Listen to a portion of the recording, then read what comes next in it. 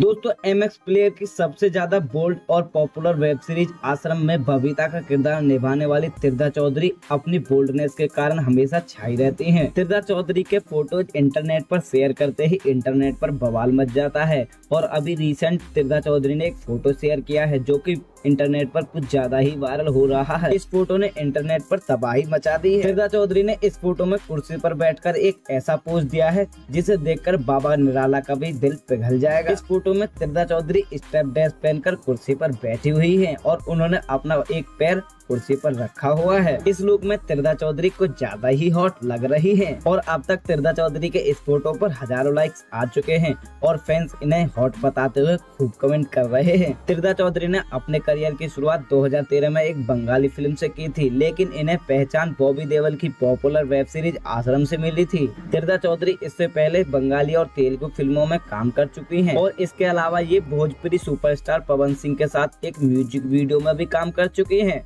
और दोस्तों, आपको तिरदा चौधरी और उनके लुक को लेकर क्या लगता है? कमेंट बॉक्स में ज़रूर बताना। आज की वीडियो केवल यहीं तक। अगर आप इस चैनल पर नहीं तो चैनल को सब्सक्राइब करने के साथ बेल आइकन को ज़रूर से प्रेस कर लेना। मिलते हैं आपको अगली वीडियो में। तब तक के लिए नमस्कार।